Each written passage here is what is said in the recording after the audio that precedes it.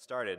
So, hi everybody, my name is Jesse Vigil. I am faculty at uh, USC Games. I wear a couple other hats as well, and I will talk about uh, some of those sort of as we go. But this is, yes, um, partially about a QA team that we by necessity had to put together, and also in general, um, more about how to build a culture of assured quality, as I like to call it. So um, even though this is the Education Summit, uh, there might be other people in the room too, and that's cool because this honestly can work for anybody who um, is small, starting out, thinking that maybe they can't afford full QA or don't have the resources to do it sort of properly. And I say this because um, our games are increasingly public facing, and I'm not talking just about USC Games, although, um, I mean, even just recently we were in the failing New York Times. So uh, it's just everybody. In general, uh, the rock stars that uh, we teach who are like 20, 21 years old are increasingly not waiting even until they graduate before they are starting to take their place in the professional uh, community. And that means that to a degree, like since more and more people from the outside world are putting hands on things, uh, we've realized that we have to start sort of changing to reflect uh, this reality. Uh, I spend a lot of my time and sort of my focus in a lot of the teaching that I do is, I think, basically on straddling the difference between finished and done, which tends to work in both directions. I end up with teams that say, well, I implemented my last feature, so I guess I'm done.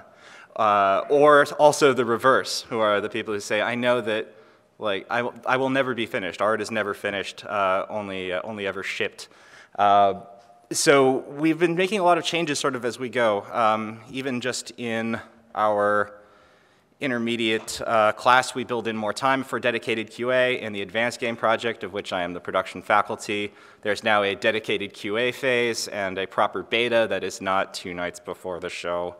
Uh, we've done away with a midwinter uh, sort of progress show in favor of things that are actually fully done because we are just brimming with so much uh, stuff that needs, an, needs eyes on it that uh, we're, we're, changing the focus. And uh, Sean and I teach a polish and publish class that is entirely about uh, taking things that were made in other classes and spending another 15 weeks polishing them up and making them public facing.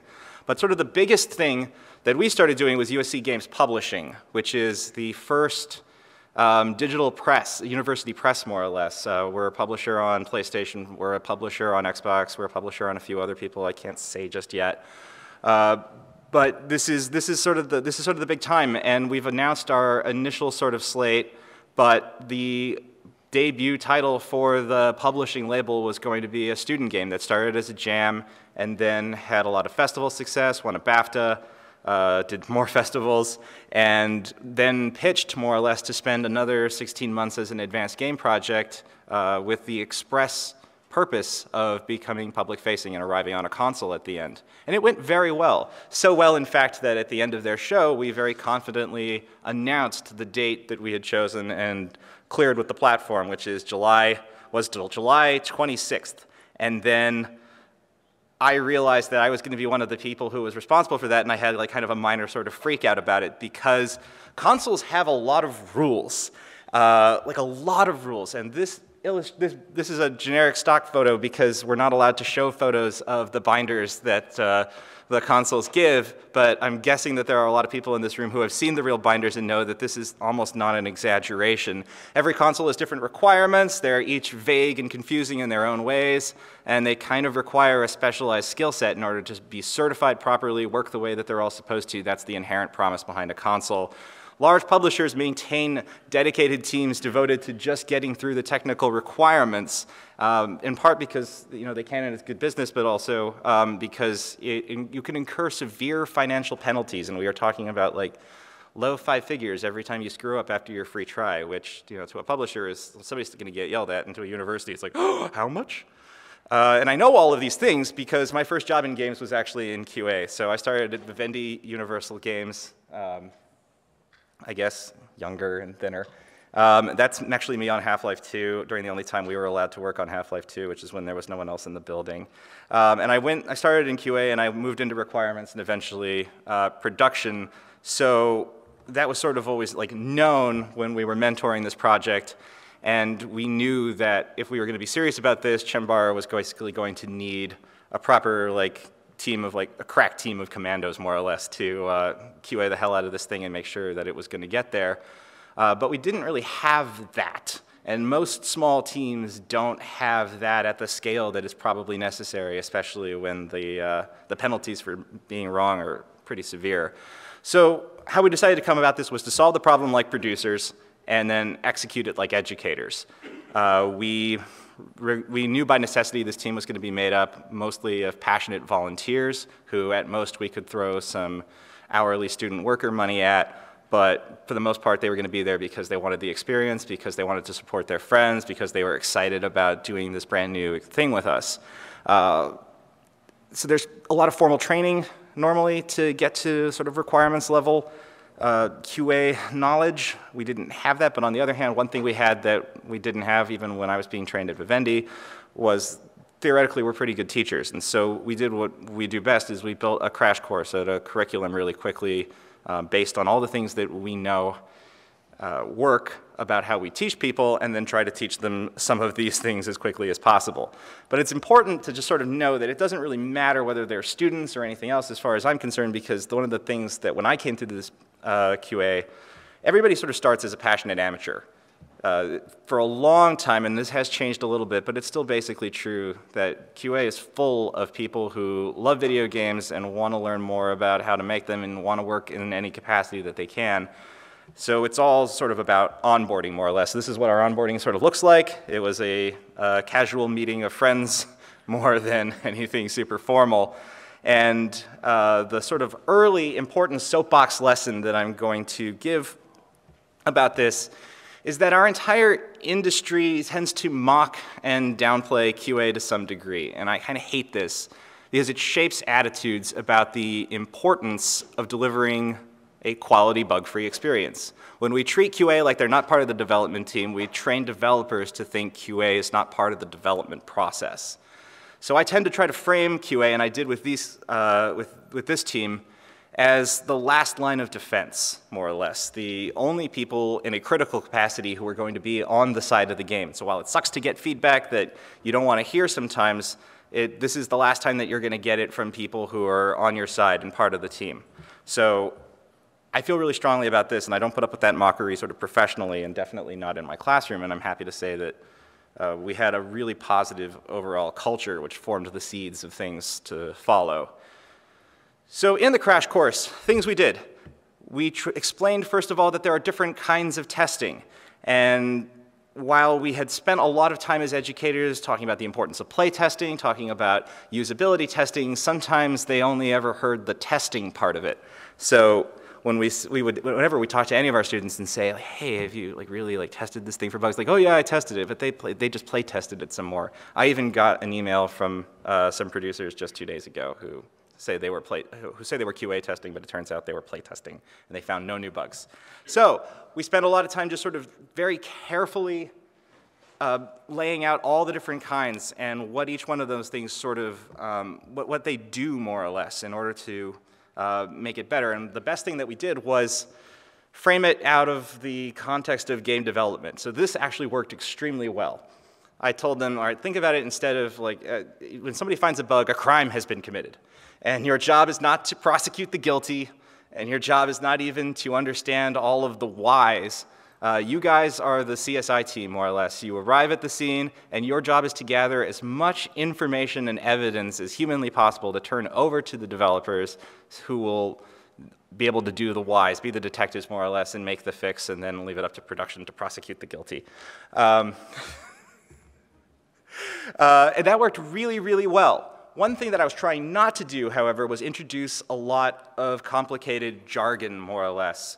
But then it ended up slipping out. And when I brought in some industry mentors, more or less, old habits flared back up, and pretty soon we were having our own conversation about, well, that's a dupe, or can you repro that? I should write a suite for that. That's a, no, that's a nab, which is slang for not a bug.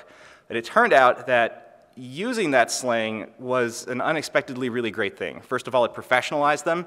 It made them feel qualified and vital uh, members of the team, just like anytime you give any group of people a, a special secret code to talk in, automatically you feel cool and important um, and with some kind of spe specialized skill set. So it felt more like being part of an elite team and less like doing menial grunt work.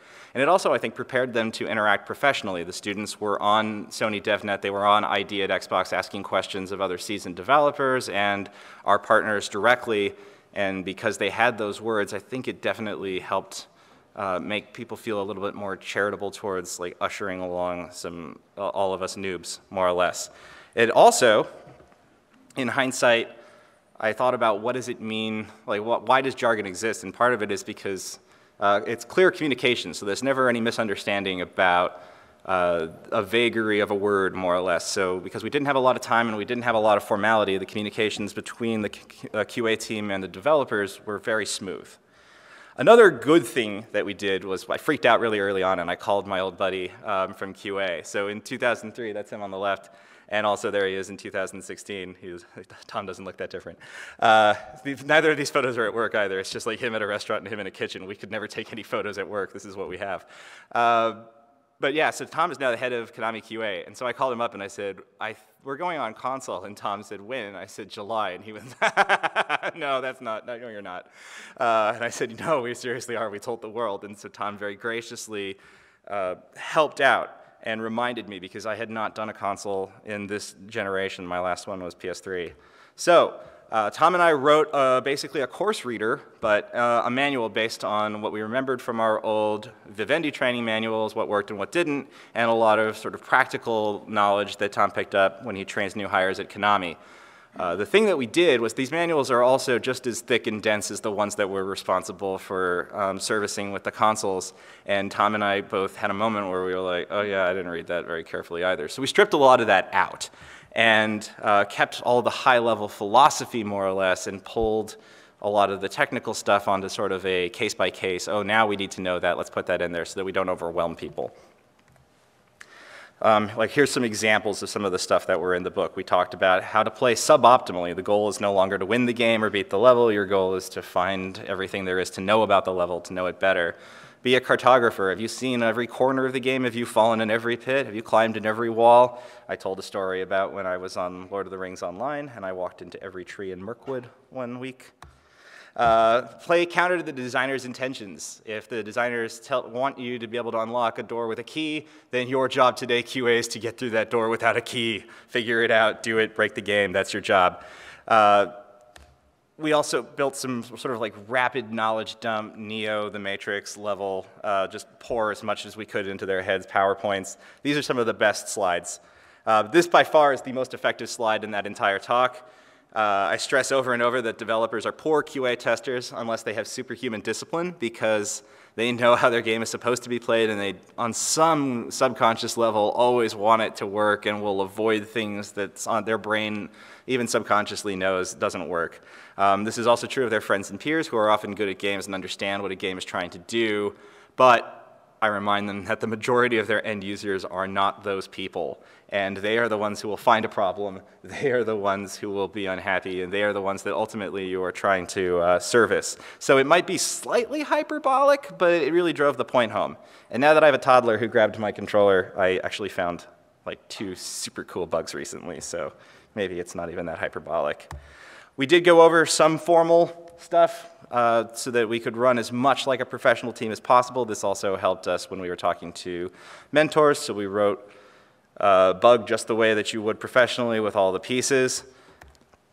We did not invest at the time in a formal bug tracking system, although I think that's sort of an improve on my part. We learned, I think, the upper limits of Google-fu during this process, but since we were a new publisher and we hadn't really decided on all of our techs uh, just yet, this was a, uh, a pretty good trick. Uh, but one thing that we did was we built a lot of on-rails experiences for um, inexperienced QA people, which are very similar to professional QA test suites, but with a, with a few extra sort of interactive tricks. Do this. Did it work? Yes. Do this then. Did it work? Yes. Do this. That did not work? Okay, stop everything. Write a bug right now. Here's the form. Uh, now you may click here to go back and keep going. Uh, after a while, we didn't have to do that too long before uh, they just started using the forms on their own and everything was cool. Uh, we also tried to make some games out of it when we did. I invented a, a, PowerPoint game that's like a game show called Name That Severity, where we all yell. We look at bugs, and then we all yell what we, how, how severe we think they are on a scale of 1 or A to C or 3, uh, like a, a minor graphical kind of issue. I pulled things that I found personally, or um, other like really great sort of things. And we sort of talked through each of them. And even like some of the edge cases too, judgment calls and emphasizing the severity because it becomes a key part of triaging. So bugs like this, and we were all, Firewatch was new at the time, we were all playing Firewatch, so a lot of our bugs were about Firewatch. Um, these sorts of things where, yeah, technically the game didn't crash, but the rope is attached like basically perpetually at this point. It definitely makes things complicated and later in the game you can't do anything. So uh, it's, it's, even though it doesn't seem like a crash, it's as bad as a crash. And this is important because uh, coming to terms with triage, uh, keeping the notion that triage is coming early at the foreground kept everything constructive. I think on some level we knew that we were going to let some things go at the end of the day, but reminding ourselves that we were going to be having those conversations early helped when it came to, well, how many hours did we spend fixing a C bug when there were 12 A bugs still in the system? How many hours does QA have left? How can they best be deployed? And make sure that they're using their time uh, well also. Because sometimes, again, Firewatch, uh, it was helpful to explain enhancements also, which are, we, I, I, professionally, we always use D for enhancement. Uh, things that are working the way that the developers intend to work, but maybe QA has a different opinion of a way things could work better. Uh, sometimes inexperienced teams uh, flood the bug system with feedback instead of bugs. So we spent a while talking about uh, the difference between feedback and bug hunting and making sure that those were in the, the proper proportion. And all of this worked out really well because, and I've been hinting at this a few times, the most important thing we did was the culture. The overall sort of environment that we were building ended up being the sort of lasting legacy more than any of the hard and fast, like rote rules that we ended up teaching. The relationship dynamics turned out to be the real factor in that team's like stunning effectiveness. The QA students became better collaborators after the summer because of the sort of team-based nature of being in the trenches in that tiny room that didn't even have air conditioning sometimes. Uh, and there was also no like substitute for practice. So the more time that they spent with games, they even started testing other games as hard as they were testing the one that they were being paid to test. And it really sort of built them into people who thought critically but were able to communicate constructively. And that ended up being a meta conversation that wasn't formalized or anything about, but I'm, I'm, already sort of seeing a vague sort of culture shift. But the one thing that I do have to say that we were not able to streamline is, I think, the best, on a university level, the best equivalent is sort of dedicated lab time. But uh, we learned that they were minimally effective. Um, all of these lessons were not effective when we introduced them as part of like a subclass, more or less. Uh, only the dedicated time and large blocks of two to four hours to actually do the testing was where we started to see some real results. I think there's something about just that amount of time and that closeness with the material that really starts to sort of cement some of the broader cultural messages. Other unexpected result, to use a, a bug term, uh, we ended up with more mindful developers. Uh, veterans of that summer crash course team have become more thoughtful and far thinking in their practice as developers. They recognize bugs in their own work and know better practices for how to solve them. They give better feedback to their fellow designers, and they manage tasks and deadlines better. And I will say that the Chambara developers became more thoughtful and professional for putting their game through a formal QA process. I think they have all become a lot more respectful of the process, better at taking feedback, and more deliberate in some of the decisions that they make. So then we shipped it, and here we are at E3, uh, which is the proudest I've been of any title I've ever taken to E3. And that is my 19-year-old Sony requirements lead with the lead designer um, in this photo. It was a, a, really happy day. We still had another month of development um, and fixes ahead of us when this photo was taken. But um, it was a struggle. I'll say that it was not easy. Without about three vital students who really threw themselves into requirements and two dedicated faculty acting as producers, we would not have made our release date. Um, and navigating all those procedures and all the rules and things would not have been possible without advisement from Tom and some of our partners at Sony and Microsoft. I'm going to say thank you guys so much, just in case you're ever watching on the vault. Um, and it's worth mentioning that before entering formal QA, the developers had worked on this thing for about 18 months prior to us getting involved. So there's a lot of work into this. This wasn't just us deciding, oh, I think it's time to put a game on a console. Uh, in hindsight, I think there was a point maybe late June, early July, where we would say, why did we decide to go on a console? This is the worst idea we've ever had. Uh, the constraints ended up being super useful, though, and if I had it to do all over again, I would do it exactly the same way, even though there was a, little bit of heartbreak along the way. Uh, even just the differences between working on PlayStation and Xbox, which is coming, uh, highlighted some, and I know there's at least one developer in the room because I just saw him, lazy and suboptimal engineering. Uh, there was an over-reliance on plugins that finally had a real-world consequence that became, I think, a really powerful lesson when it almost uh, prevented uh, submission from going through. And it was nice to have an external keeper of standards. We can say all of these things, but it was nice to have like Big Bad Sony and Microsoft say, also saying, no, it will absolutely not go on the console unless these things are adhered to that I think finally drove home some really important lessons um, at the end of the day. Um, also, the entire team has like a really vital hireable experience now, so I wouldn't trade that either. If you are going to go down this road and undertake some of this insanity, uh, here are the best things that we learned so far. Make it part of your practice in every class, even if it's just a mention. Like I said, I feel it's important to talk about this as part of the process. Um, and that it, we're not done when we get right up to the point where we're fixing bugs. We have, in fact, just sort of begun. Um, having a dedicated class or a summer workshop was a big leap forward. Uh, that time together to focus on nothing but this paid off in spades. I don't know if we're going to have to do that every single time, to be perfectly honest, even if we get new people, because the seeds of what we learned and how, how we conduct ourselves and how we think about things and help each other just as sort of a large, you know, developer, more or less, or a publisher across the entire university program, uh, have, have already sort of been sown, and I, we're already started to see that uh, the, the student teams that are working on things for this year or for even the year after that are, are internalizing a lot of these lessons and applying them themselves when they, in turn, become leaders and set up their own teams and their own cultures. I think it works best with uh, practical, real software and goals rather than talking about this entirely in theory like I'm doing right now. Works 100% better when we have foolishly told the world that something is going to happen on a specific date.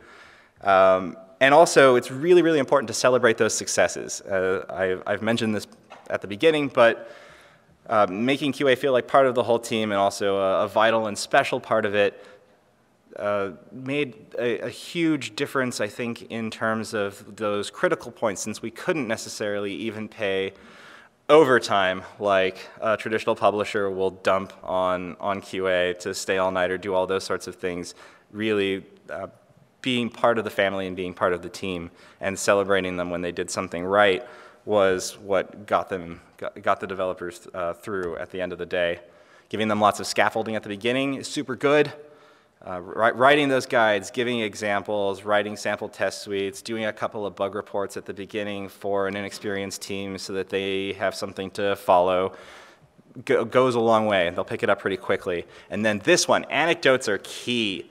Get them, share them, make them a core part of your teaching. Tom and I at the beginning we were worried that we were telling too many war stories and just funny stories about some of the things that happened to us in QA, but it turned out to be those were the lessons that people remembered and stuck with and did something with moving forward. So uh, if you don't have some of your own, uh, but you probably do, get a few more and uh, build that into it. The, the sort of core teaching, I think, is that there's a big difference between hiring bug hunters and building sort of an overall culture. We, we did not set out to do that, but when we figured out what was happening, I, we, we, leaned, we leaned on the till pretty hard to get to that direction, and it's been paying sort of lasting dividends. Uh, Chambara, in fact, passed Sony FQA on the first try with zero issues. There's normally uh, tab that has a list for issues, but that tab doesn't appear apparently if there are no issues, which I'd never seen before.